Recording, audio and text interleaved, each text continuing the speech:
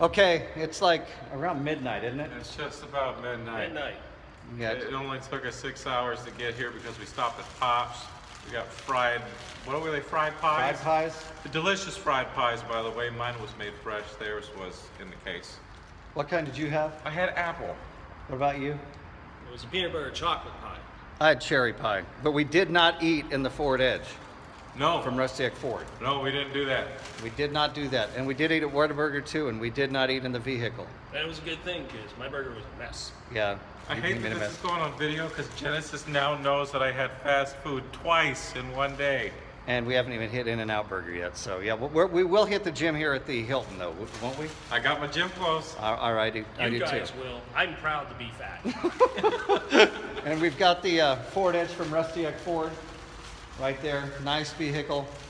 We made it safely, and of course, Rusty now, Ford. yeah. And now, if you have questions about storage, Yes. you can put plenty in it. And there's proof that we went to Pops. Thank you.